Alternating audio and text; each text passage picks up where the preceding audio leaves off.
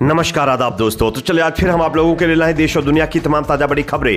Breaking news headlines एक एक करके तमाम बड़ी खबरें आपके सामने रखेंगे। सबसे पहली और बड़ी खबर में आपको बताएँगे, लोकसभा चुनाव 2024 के छठे चरण के बाद इंडिया गठबंधन वर्सेस बीजेपी एनडीए किसके खाते में कितनी सीटें जा रही हैं, इसका एक और सर्वे सामने आ गया है। यहाँ पर इंडिया गठबंधन का पलड़ा भारी बताया जा रहा है। आगे हम आपको सीटों के आंकड़े भी बताएँगे साथ ही साथ। अगली बड़ी खबर में आपको बताएँगे दोस्तों कि देश के प्रधानमंत्री और उनके जो है पीएमओ ऑफ़िस के ऊपर अब तानाशाही का आरोप लगाया गया है। विपक्षी पार्टी के नेता अरविंद केजरीवाल के द्वारा यह आरोप लगाया गया है। आगे इसकी भी जानकारी आपको देंगे साथ ही साथ। अगली बड़ी खबर में आपको बताएँगे दोस्तों कि असम के अंदर बीजेपी सरकार को कोर्ट से लगा बहुत बड़ा झटका। जिस तरीके से मुसलमानों के घरों पर बिल्डोजर चलाया गया था, वो अब असम की सरकार को महँगा पड़ गया है। किस तरीके से इसकी भी जानकारी आगे आपको देंगे साथ ही साथ। अगली बड़ी खबर में आपको बताएँगे दोस्तों की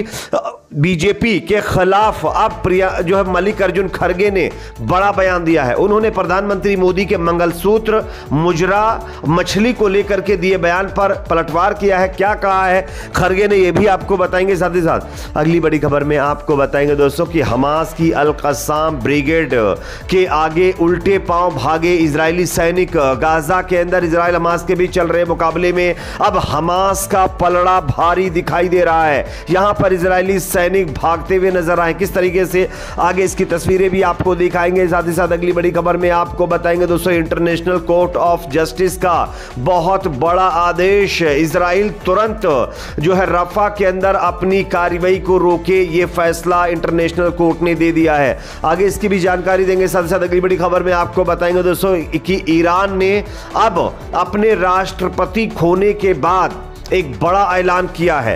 ईरान ने जो ऐलान किया है, वो कई देशों की चिंता बढ़ाने वाला है। आगे इसकी भी जानकारी देंगे उससे पहले। एक छोटी सी रिक्वेस्ट है दोस्तों, इस वीडियो को ज़्यादा से ज़्यादा लाइक करिए, शेयर करिए। अगर आप भी चाहते हैं लोकसभा चुनाव निष्पक्ष तरीके से हो तो कॉमेंट सेक्शन में इस पर अपना फीडबैक भी ज़रूर दीजिए। बात करेंगे पहली खबर की। जैसा कि आप जानते हैं, छठे चरण का मतदान कंप्लीट हो चुका है, लेकिन छठे चरण के बाद किस दल के खाते में कितनी सीटें जा रही हैं, इसको लेकर के लगातार तमाम सर्वे करने वाली कंपनियों की तरफ़ से प्रडिक्शन लगाया जा रहा है। इसी बीच दोस्तों, इंडिया गठबंधन के नेता जयराम रमेश ने एक बड़ा दावा कर दिया है। उन्होंने कहा है कि छठे चरण में इंडिया इंडिया गठबंधन ने दो सौ बहत्तर सीटें पार कर दी हैं। छठे चरण की वोटिंग के बाद कांग्रेस के वरिष्ठ नेता जयराम रमेश ने इस सर्वे के बारे में बात की है। उन्होंने साफ़ तौर पर कह दिया है कि दो सौ बहत्तर से ज़्यादा सीटों पर इंडिया गठबंधन का पलड़ा भारी है और बीजेपी इस बार सत्ता में वापसी नहीं कर पाएगी, ये भी उनकी तरफ़ से कहा गया है। अब देखना यह होगा कि किसके खाते में कितनी सीटें जाएँगी, ये चार तारीख को पता चलेगा, लेकिन हाँ इंडिया गठबंधन का पलड़ा भारी है, ऐसा कहा जा रहा है। अगली खबर की बात करेंगे, जो कि सामने आ रही है दोस्तों, प्रधानमंत्री मोदी की ऑफ़िस पीएमओ के ऊपर अरविंद केजरीवाल का बड़ा आरोप। आप इस खबर को देखिए। अरविंद केजरीवाल ने कहा है कि प्रधानमंत्री मोदी जी के शासन में तानाशाही देश में चलाई जा रही है, क्योंकि कल मैंने कुछ टीवी चैनलों को इंटरव्यू दिया, पीएमओ ने इसको प्रसारित करने से रोक दिया। ये तानाशाही, शाही नहीं तो और क्या है? दरअसल प्रधानमंत्री मोदी ने अभी एक दिन पहले बयान दिया और उन्होंने ये कहा कि वो कमज़ोर विपक्ष को लेकर के काफ़ी चिंतित हैं। प्रधानमंत्री मोदी का कहना था कि देश के अंदर जो विपक्ष है वो मज़बूत होना चाहिए और सरकार को तलवार की नोक पर लाने के जैसा होना चाहिए। लेकिन दूसरी तरफ़ आप देख सकते हैं, इंडिया गठबंधन के नेताओं के ऊपर किस तरीके से कार्रवाई की जा रही है। उनकी आवाज़ को दबाने का प्रयास किया जा रहा है और इसी कड़ी में अरविंद केजरीवाल ने यह आरोप जो है मोदी सरकार के ऊपर, पीएमओ के ऊपर लगाए हैं।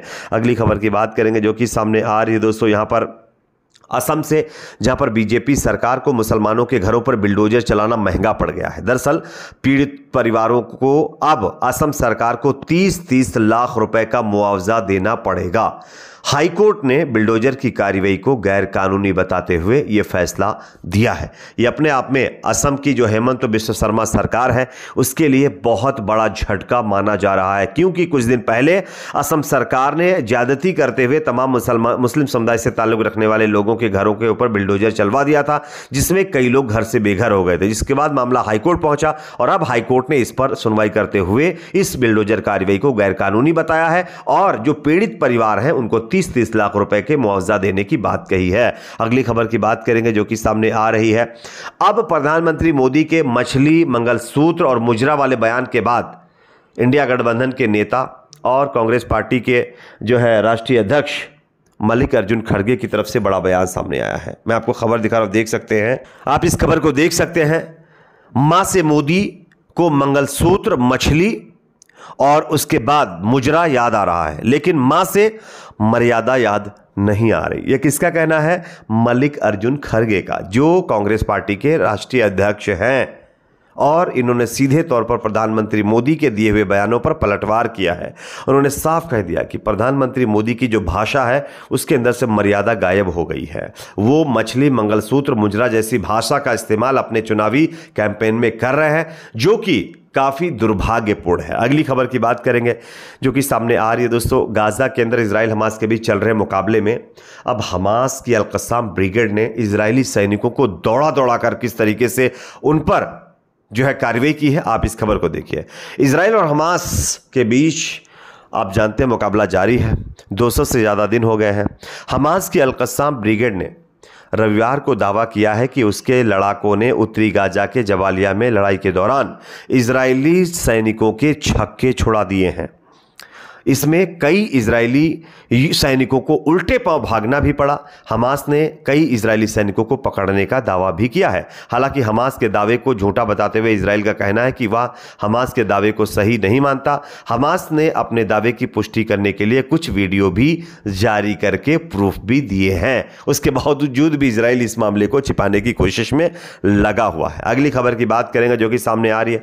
इंटरनेशनल कोर्ट से भी इसराइल को झटका लगा है। दोस्तों, आप इस खबर को देखिए, जिस तरीके से गाजा के राफा के अंदर इसराइल कार्रवाई कर रहा है, हवाई हमले कर रहा है। इस मामले में अब इंटरनेशनल कोर्ट ऑफ़ जस्टिस ने आदेश दिया है कि इसराइल तत्काल प्रभाव से जो है रफा में अपना सैन्य अभियान रोके, जो इसराइल के लिए एक बड़ा झटका माना जा रहा है। क्योंकि आप सब जानते होंगे कि रफा के अंदर मिलियंस ऑफ़ लोग वहाँ पर शरण लिए हुए हैं। क्योंकि पूरे गाजा से भागकर लोग रफा में पहुँचे हैं।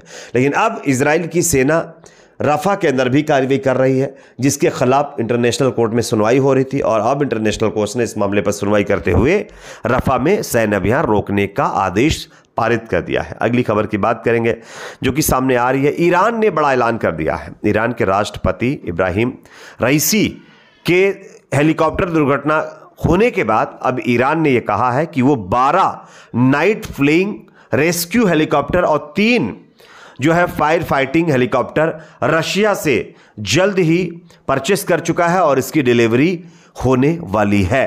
तो ये अपने आप में ईरान की तरफ़ से एक बहुत बड़ा कदम उठाया गया है, जिससे कई देशों की चिंता भी बढ़ सकती है। इस पर आप लोगों की अपनी क्या राय है, कमेंट सेक्शन में बताइए। वीडियो को ज़्यादा से ज़्यादा लाइक करिए, शेयर करिए, चैनल पर नए तो सब्सक्राइब ज़रूर करें।